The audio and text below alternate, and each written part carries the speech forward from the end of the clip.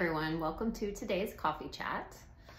Um, today we have a couple questions that are similar but different. So the first is, will the waiver pay for a mobility van? And the simple answer is yes.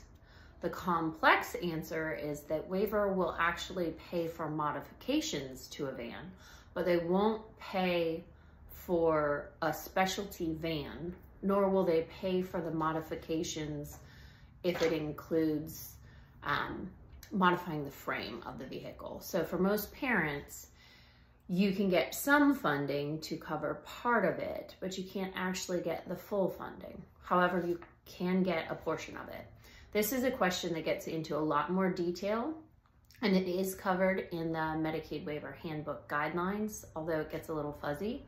Um, I would always recommend that parents familiarize themselves with the Medicaid waiver handbook so that if there is a question, they're very well informed and they have the education to fight for what their child deserves and qualifies for. I hope that helps. Have a great day.